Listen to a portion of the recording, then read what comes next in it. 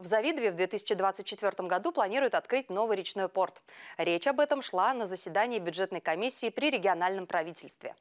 Порт расположен в устье реки Шоши в Конаковском муниципальном округе. Он должен стать частью пересадочного узла, обеспечивающего связь железнодорожного, автомобильного и водного транспорта.